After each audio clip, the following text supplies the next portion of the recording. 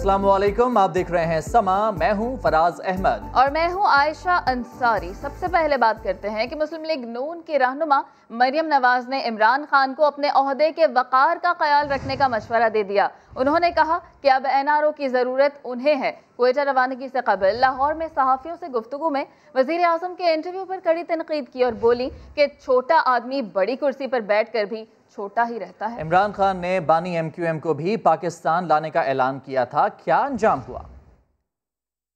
जिस इंसान को ये पता नहीं है कि प्रेशर के अंदर ग्रेस के साथ रिस्पॉन्ड करना रिएक्ट करना क्या होता है उस इंसान से किसी खैर की तो नहीं है। और दूसरी बात ये कि जिस इंसान की पूरी की पूरी ज़िम्मेदारी अब पाकिस्तान में जहाँ पर लोग रोटी को तरसे हुए हैं चीनी और आटा गायब है मार्केट से और महँगाई दिन ब दिन बढ़ती जा रही है। उनकी तोज्जो सारी इमरान नवाज़ शरीफ के ऊपर है। और कल उन्होंने जो बातें की, मैं तो सिर्फ़ यही समझ रही थी कि इंसान अगर बड़ी कुर्सी पर बैठ जाए, उसका कद फिर भी छोटा रहता है, उसको छोटे कद को बड़ा करने के लिए बड़े लोगों के नाम लेने पड़ते हैं। इसलिए वो हर वक्त नवाज़ शरीफ नवाज़ शरीफ की लगाए रखते हैं वफाकी वज़ीर इतलात शिबली फराज कहते हैं कि मरियम नवाज़ गुस्से से भरी हुई और बौखलाहट का शिकार हैं। इखलाकी दिवालियापन का शिकार अफराद जमहूरियत के अलम बरदार नहीं हो सकते। कानून के मफरूरों को कौम की रहनुमाई जेब नहीं देती। ट्विटर पैगाम में शिबली फराज ने यह भी कहा कि इमरान खान ने करप्ट टोले के खिलाफ कौम को जगाया है। हम करप्शन के खिलाफ जदोजहद से पीछे नहीं हटेंगे।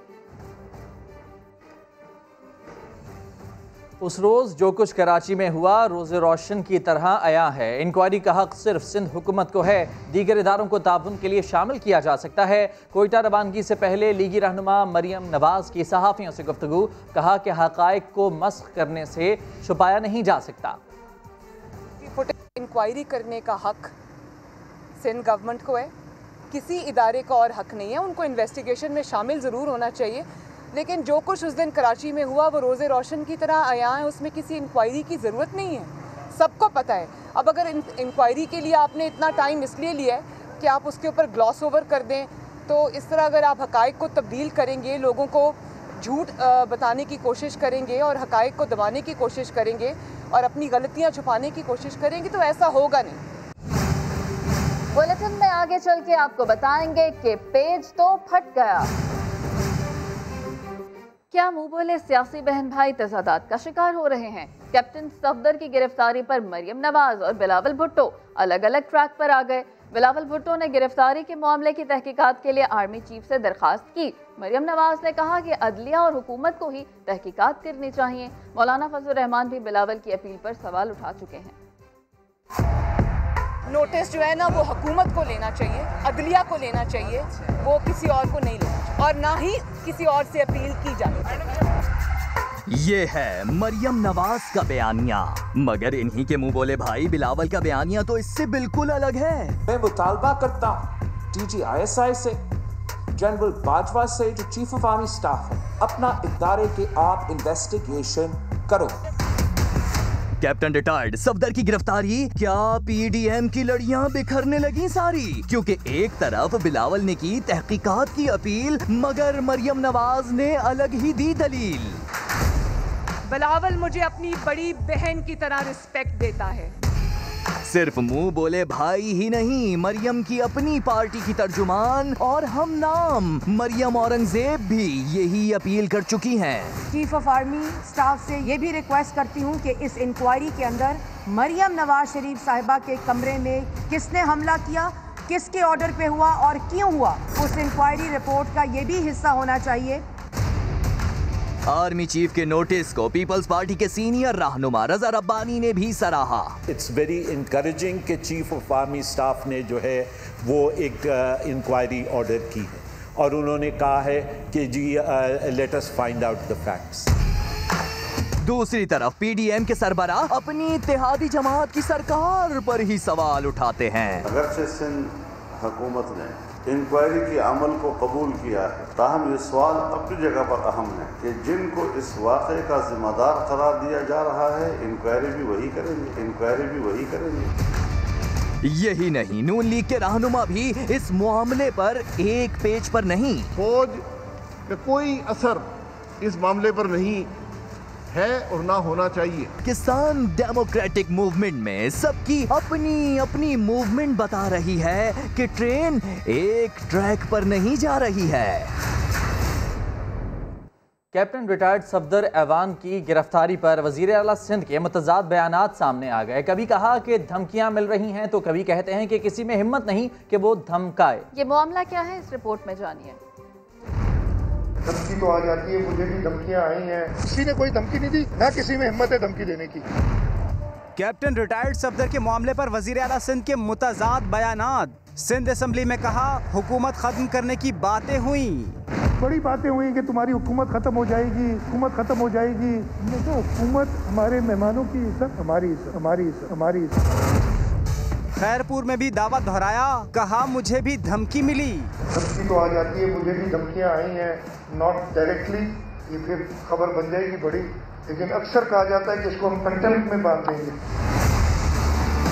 मुराद अली शाह सक्कर पहुँचे तो सहाफी ने फिर सवाल पूछ लिया मगर इस बार वज़ीर अला सिंध ने न सिर्फ़ यू टर्न लिया बल्कि ये भी कह दिया कि किसी में हिम्मत नहीं कि उन्हें धमकी दे। मुझे किसी ने कोई धमकी नहीं दी ना किसी की हिम्मत है धमकी देने की। मैंने जो कहा था वो तकरीर सुन ले माहौल था ना कि ये पता नहीं ये क्या कर रहे हैं इतना बड़ा वाक्य हो गया। तो क्या हमारी हुकूमत तो नहीं खत्म हो जाएगी? वज़ीर अला सिंध ने बात घुमाते हुए कहा कि उन्होंने धमकी का नहीं कहा था बल्कि लोगों की बातों का ज़िक्र किया था। और पीपल्स पार्टी रहनुमा खुर्शीद शाह ने मजार कायद पर कैप्टन सफदर की नारेबाजी को ठीक करार दे दिया। वो कहते हैं कि बाबा कौम के सामने कोई रोता है फरियाद करता है तो इसमें गलत क्या है? उन्होंने कहा कि इस पर इतना बड़ा रिएक्शन दिखाना अफसोसनाक है। कायद आज़म मोहम्मद अली जिन्ना अपना फादर अपना नेशन है तो उसको बाबा कौम भी कहा जाता है। कोई अगर नारे लगाता है, वहाँ जाके शिकायत करता है अपने लीडर के साथ, क्योंकि एक्चुअल वो लीडर था, वो लीड कर रहा था तो इसमें क्या परेशानी है? अगर कोई आके रोते हैं गलत रोते हैं, सही रोते हैं, वो एक अलग सब्जेक्ट है। तो उसमें इतनी बड़ा रिएक्शन दिखाना मैं समझता हूँ कि बाहर से अफसोस है और कोई भी इस बात पे दावा नहीं कर सकता कि हम इनको एक पेज पे बिठा देंगे। अब तो मैं समझता हूँ जो पेज है, वो ही नहीं रहा। पेज ही फट गया है। मजार कायद पर नारेबाजी के मामले पर पीपल्स पार्टी के रहनुमाओं में इख्तलाफ सामने आ गया। इससे पहले वज़ीर अला सिंध मुराद अली शाह ने मजार कायद के अहाते में नारेबाजी को नामुनासिब करार दिया था। कहा था कि कानून मौजूद है हम सबको इस पर अमल करना होगा। सैद गनी और नासिर शाह ने मजार कायद पर नारेबाजी को अफसोसनाक करार दिया था। ऐसी चीज़ें हमारे मीडिया से वीडियो से पता चली वही जो कि नहीं होनी चाहिए। नाराज़ नहीं हम सबने इस पर इतफाक किया है कि ये नारेबाजी बाज़ार के हाथ के अंदर लेकिन ये कोई पहली बार नहीं था। ये कोई पहली बार नहीं था। ये पीटीआई की कई हम देख चुके हैं कि इससे ज़्यादा बाज़ार की तकदस को और ये बिल्कुल सही है एक कानून मौजूद है।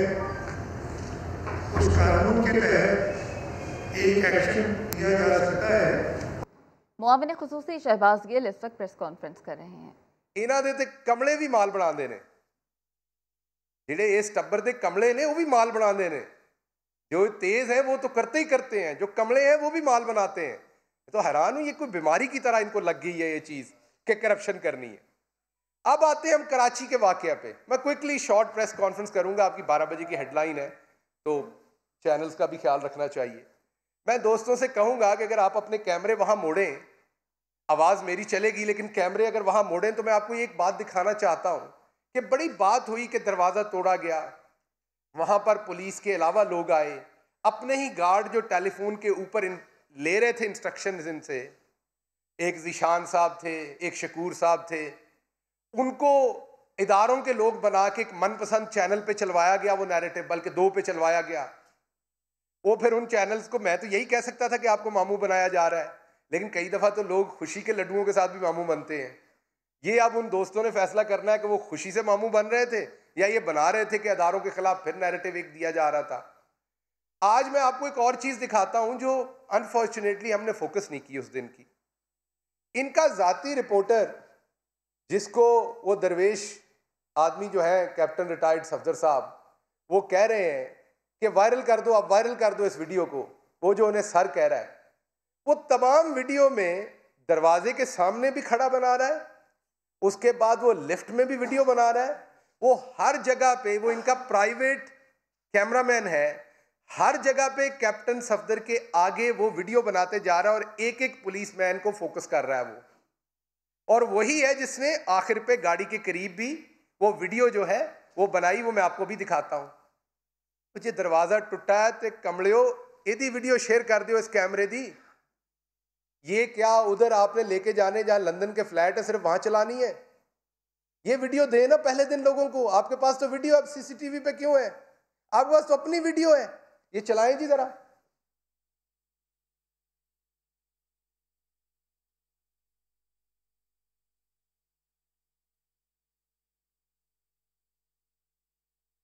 ख्याल आप आगे करके, लेकिन चले आप। अगले सीन में भी होगा, वो हर सीन में।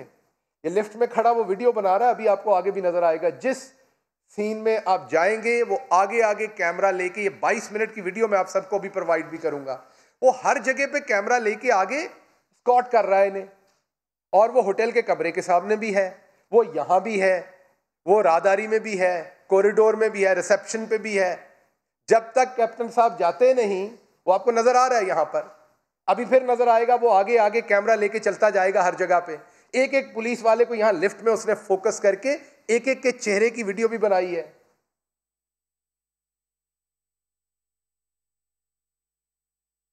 ये पीछे चले गए आप? क्या किया आपने? नहीं नहीं, ठीक ठीक ठीक। आगे कर दे थोड़ा सा ये ये सीन ज़रा थोड़ी देर।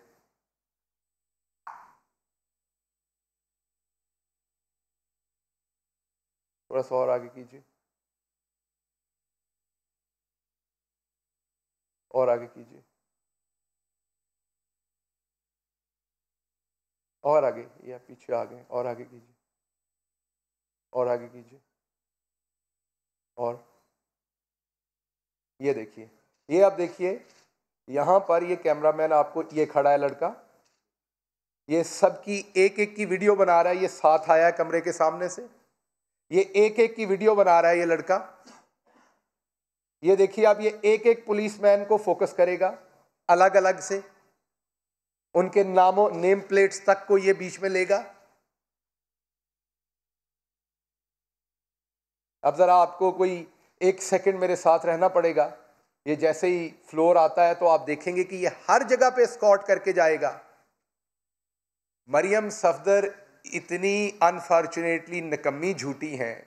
ये दो मेडिकल कॉलेज से फेल हुई। जिस मेडिकल कॉलेज में गई, बदकिस्मती से उसके प्रिंसिपल को भी निकलवाया, क्योंकि वो दाखिला नहीं दे रहे थे किंग एडवर्ड वाले। वालद ने उनको निकलवा दिया।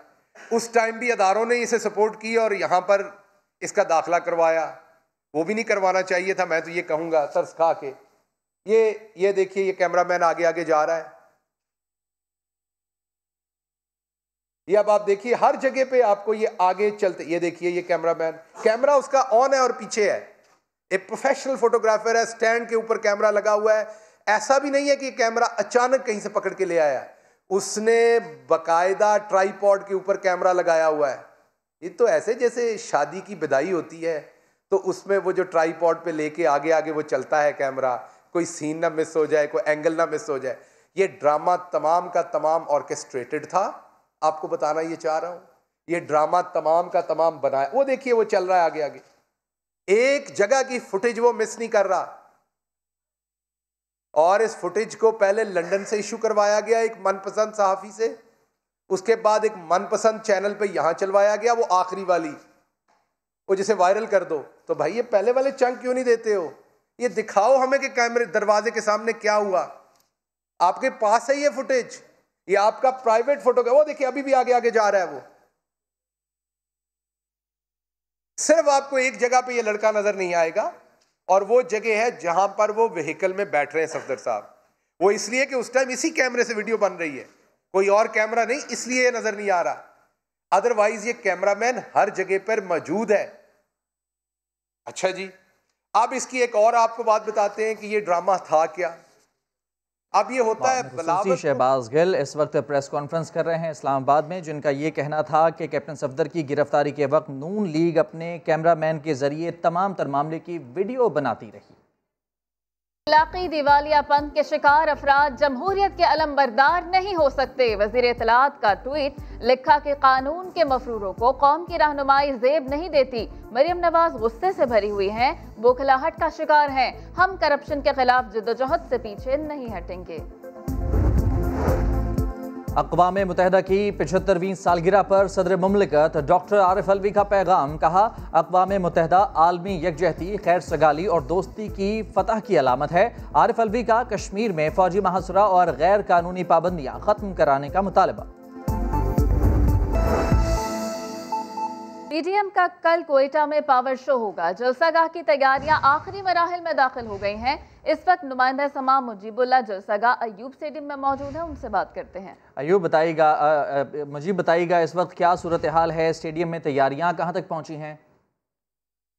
जी, बिल्कुल जी कोयटा में मुनद होने वाले पीडीएम के जलसे के लिए तैयारियाँ जो है वो अब अपने आखिरी मराइल में दाखिल हो चुकी हैं। इस वक्त मौजूद हूँ कोयटा के अयूब स्टेडियम में फुटबॉल ग्राउंड के अंदर। यहाँ पर जो जलसे की जो तैयारियाँ हैं, जो कल मुनद होने वाले जो जलसा है, उसकी तैयारियाँ उरूज पर पहुँच चुकी हैं। जितने भी पीडीएम में शामिल अपोजिशन जमातें हैं, उनके जो परचम है, वो आवेज़ा कर दिए गए हैं। और इस वक्त भी कारकुनान और लीडरान की एक तादाद जो है वो स्टेडियम के अंदर मौजूद है और इंतज़ाम का जायज़ा लिया जा रहा है। जो कुर्सियाँ लगाने का जो सिलसिला है, वो ताहल शुरू नहीं हो सका। तमाम अब कुछ देर बाद बताया जा रहा है कि कुर्सियाँ लगाई जाएँगी। बताया जा रहा है कि तकरीबन तीस हज़ार से ज़्यादा यहाँ पर कुर्सियाँ लगाई जाएँगी। और जो स्टेज है, वो अपर लेवल पर स्टेज का क्याम किया जाएगा, जिसमें जो लीडरान हैं, वो तशरीफ़ फरमा होंगे। बताइए जा रहा है कि मरियम नवाज़ पाकिस्तान मुस्लिम लीग नून की नायब सदर, वो अपने दस रुकनी वफ्त के साथ जो है, वो कोयटा के लिए निकल चुकी है।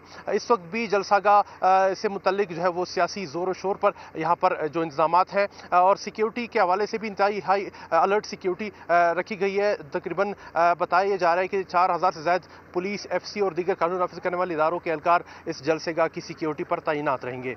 जी। ठीक है तफसलत के लिए आपका बहुत शुक्रिया मुजीब। आगे बढ़ते हैं और एक दफ़ा फिर आपके लिए चलेंगे इस्लामाबाद जहाँ आपने खसूसी शहबाज गिल न्यूज़ कॉन्फ्रेंस कर रहे हैं। कह रहे हैं कि कत्लो गारत हो गई कराची के ऊपर टेक ओवर हो गया। तो बुनियादी तौर पर मैं आपके सामने इस प्रेस कॉन्फ्रेंस में तीन बातें रखना चाह रहा था। ये और बहुत सारे हैं, उनके जर्नलिस्ट, उनके चैनल्स। मैं आपका, आपको ये तमाम प्रिंट आउट देता हूँ जिन्होंने ये तमाम खबर को विद इन आवर्स ये पहले से सब ऑर्केस्ट्रेटेड था, ये किया। तो बुनियादी तौर पर मैं आपके सामने तीन बातें रखना चाहता हूँ। नंबर एक, मरियम सफदर साहबा हमेशा झूठ बोलती हैं, तब नहीं बोलती जब वो नहीं बोलती। उनको अल्लाह ने तौफीक नहीं दी झूठ बोलने की। लेकिन क्योंकि उनकी एजुकेशन पुअर है, ये मैं मज़ाक में या सियासी तौर पे नहीं कह रहा, उनकी एजुकेशन पुअर है और वो हमने मेडिकल कॉलेज में उनकी परफॉर्मेंस से देख लिया हुआ है, हमारे पास ट्रांसक्रिप्ट हैं उनके। उनकी एजुकेशन पुअर है, उस वजह से उनकी जो क्रिटिकल थिंकिंग है उनके ब्रेन की, वो इतनी अच्छी नहीं है। ड्रामा बनाती हैं वो ड्रामा जो है बहुत जल्दी आउट हो जाता है। अभी ये तमाम कराची में ऑर्केस्ट्रेट किया गया कैमरे लगा के, उसके बाद स्क्रिप्ट के थ्रू रन किया गया। स्क्रिप्ट रन करने के बाद क्या कहा गया? अपने इदारों पे डाला गया। और अब उनसे क्योंकि ये चल नहीं रहा बयानिया, कल बलोच स्टूडेंट्स को इस्तेमाल करने की कोशिश की आज कल डेस्परेट हुई हुई है।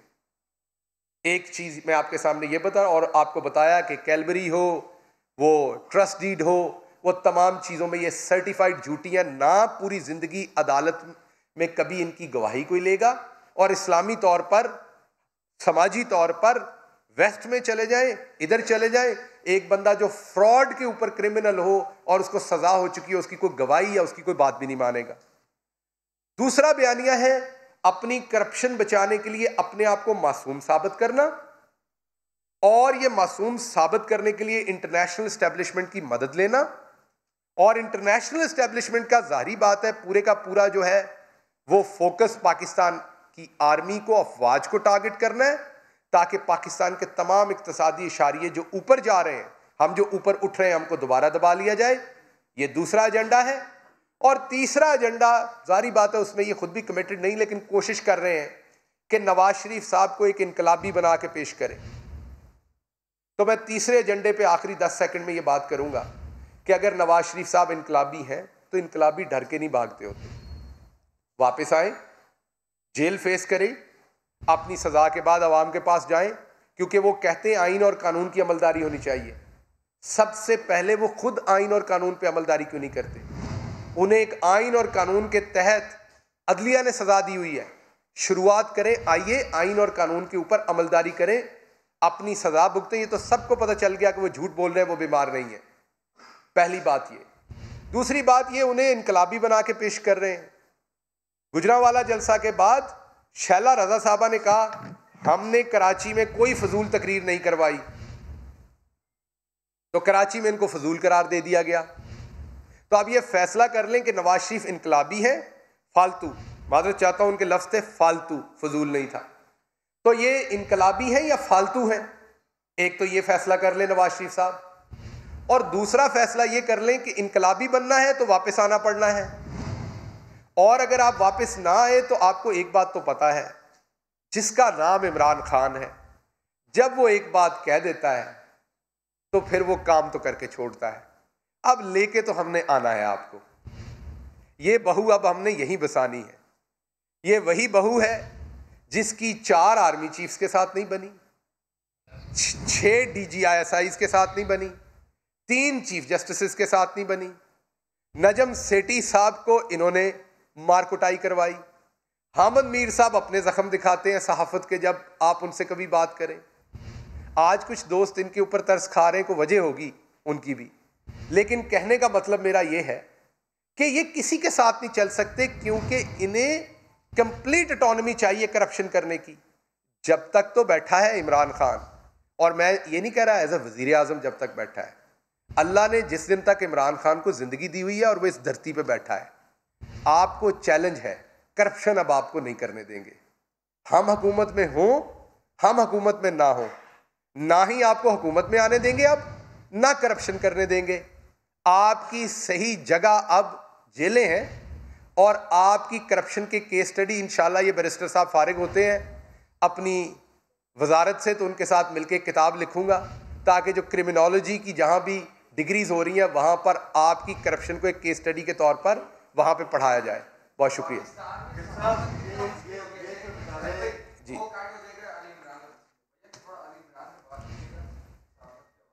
जी, देखिए प्राइम मिनिस्टर साहब ने पहले भी स्टेट किया और मैं दोबारा स्टेट कर रहा हूँ ये। मोमिन खसूस शहबाज गिल प्रेस कॉन्फ्रेंस कर रहे थे आपने मुलाहजा किया। वज़ीर अजम इमरान खान एक रोज़ा दौरे पर आज मियाँ वाली जाएँगे। चापरी में मिनी डैम का संग बुनियाद रखने के साथ मकामी लोगों से खिताब भी करेंगे। वज़ीर अला उस्मान बुजदार और अहम हुकूमती शख्सियात भी वजी अजम इमरान खान के हमरा होंगी। इमरान खान कैडेट कॉलेज में मकामी लोगों से खिताब के साथ नमल यूनिवर्सिटी की तकरीब में भी शिरकत करेंगे। चापरी में मिनी डैम का संग बुनियाद और खटक बैरट में साफ़ पानी के पहले मनसूबे का अफ्ताह भी वज़ीर अजम के शेड्यूल में शामिल है। पाँच अरब रुपये मालियत के मनसूबे से एक लाख अफराद मुस्तफ़ होंगे। नून लीग के रुकन पंजाब असम्बली जलील शरफपुरी ने पार्टी की वार्निंग को नज़रअंदाज कर दिया। एक बार फिर वज़ीर अला पंजाब से मुलाकात की और उनकी क़्यादत पर अतमाद का इजहार किया। शोकाज नोटिस के प्रेशर में आए और ना ही नून लीगी अरकान के नारों ने काम दिखाया। मुस्लिम लीग नून के दो एम पी एस की एक बार फिर वज़ीर अला पंजाब ऐसी अलहदा अलहदा मुलाकात। मियाँ जलील अहमद शरकपुरी वज़ीर अला सेक्रेटेरिएट पहुँचे और उस्मान बुजदार ऐसी वन टू वन मुलाकात की। जलील शरकपुरी ने पार्टी क्यादत की तनकीद और तंबी नजरअंदाज करते हुए वज़ीर अला की क्यादत पर एतमाद का इजहार किया। वज़ीर अला ने उनसे कहा कि आप काबिल एहतराम हैं। अपोजिशन अरकान के नारवा सलूक पर दिली दुख हुआ। इस मौके पर नून लीगी एम पी ए ने वज़ीर अला का शुक्रिया अदा किया। उस्मान बुजदार का कहना था कि सियासत में शाइस्तगी का दामन हाथ से नहीं छोड़ना चाहिए। अपोजिशन आग से खेल रही है। बाद में नून लीग के एक और M P A Faisal Niazi भी वज़ीर अला से मिले। उन्होंने अपने हल्के में तरक्याती मनसूबों से मुतालिक बातचीत की। उस्मान बुजदार ने उन्हें हर मुमकिन ताउन का यकीन दिलाया। यूएई और बहरीन के बाद अब सूडान ने भी इसराइल को तस्लीम करने पर इतफाक कर लिया। सदर ट्रंप के मुताबिक सूडानी क़्यादत और इसराइली वज़ीर अजम से फ़ोन पर गुफ्तु हुई जिसके बाद डोनाल्ड ट्रंप ने सूडान की तरफ़ से इसराइल को तस्लीम करने के फैसले का ऐलान किया। इसराइली वज़ीर अजम का कहना था कि इस इकदाम से इलाकई सतह पर तब्दीली आई और अब आपको बताएँ कि पेशावर में बीआरटी सर्विस एक माह आठ दिन तातुल के बाद बहाल कर दी गई है। बसें सुबह छह बजे से रात दस बजे तक चलाई जाएँगी। पेशावर से अब्दुल रहमान की रिपोर्ट देखिए। पिशावर बीआरटी में आतशदगी के चार वाकयात के बाद 16 सितंबर को सर्विस बंद कर दी गई। गोल्डन ड्रैगन कंपनी साख्ता बसों के इंजीनियर ने तकनीकी खराबी दूर कर दी। करंट कंट्रोलर कैपेसिटर तब्दील कर दिए गए और सर्विस का सुबह छह से रात दस बजे तक बाकायदा आगाज़ कर दिया गया। जो मसाइल थे उनको दूर कर लिया गया है जो कंट्रोलर कैपेसिटर उनकी कैपेसिटी इनहेंस कर दी गई है। और किसी भी किस्म का कोई तकनीकी फ़िलहाल तो कोई फॉल्ट नहीं है। बीआरटी की 18 मीटर में 125 और 12 मीटर बसों में बैक वक्त पचहत्तर मुसाफिर सफ़र कर सकते हैं। शहरियों ने बीआरटी की बहाली पर सुख का सांस लिया। बहुत ज़्यादा मुश्किल थी और इसकी वजह से बहुत हमारा टाइम ज़ाया होता था। तीन तीन चार चार घंटे हमें जो है ना ज़्यादा लग जाते थे। जब से ये शुरू हुआ है अलहमदिल्ला पैसे भी कम लग रहे हैं और अलहमदिल्ला सहूलत से जा रहे हैं। ट्रांस पिशावर इंतजामिया के मुताबिक ट्रैक पर 128 बसें रवा दवा हैं। मुसाफरों को हदायत की गई है कि वो एस ओ पीज पर सख्ती से अमल करें। कैमरामैन असद अली के साथ अब्दुलरहमान समा पिशावर। एहतसाब के शिकंजे की बात करें तो एहतसाब अदालत में पीएसओ में तेईस अरब रुपए की करप्शन के रेफरेंस की समात हुई और नैब की तारीख में सबसे बड़ी प्ली बारगेन की दरखास्त मंजूर कर ली गई। मुलजिम एक अरब उनतीस करोड़ से जायद की रकम वापस देने को तैयार हो गया है। एहतसाब अदालत में पी एस ओ में तेईस अरब रुपए की करप्शन के रेफरेंस की यह समात थी और नैब की तारीख में सबसे बड़ी प्ले बारगेन हुई, जिसके अंदर मुलजिम एक अरब उनतीस करोड़ से जायद की रकम वापस देने को तैयार हो गया। न्यूज़ बुलेटिन से फ़िलहाल इतना ही। मजीद किसी भी खबर की तफसील जाननी हो तो विज़िट कीजिए हमारी वेबसाइट समा डॉट टी वी इसके अलावा आप हमें फेसबुक और ट्विटर पर भी ज्वाइन कर सकते हैं। एक ब्रेक के बाद आपसे मिलेंगे हेडलाइंस के साथ। आप देखते रहिए समा।